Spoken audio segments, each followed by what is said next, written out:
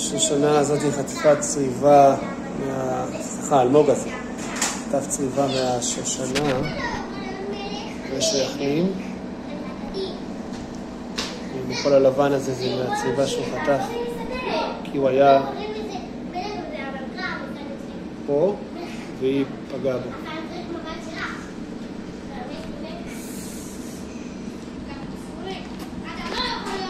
היה לנו קצת סגור.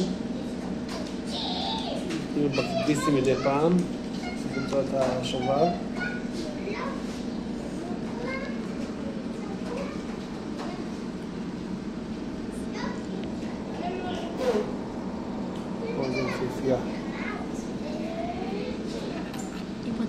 היא.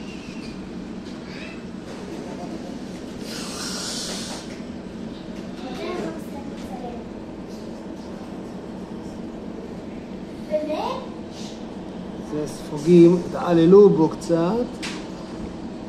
אבל אנחנו נטפל בו לאט לאט, הוא יחלים. בדיוק כמו שזה מתחיל להחלים, תראו, מתחילים לצאת, לצאת ראשים. יוצאים קצת ראשים. כי מת- מי מתמת, ועכשיו הראשים יוצאים לו.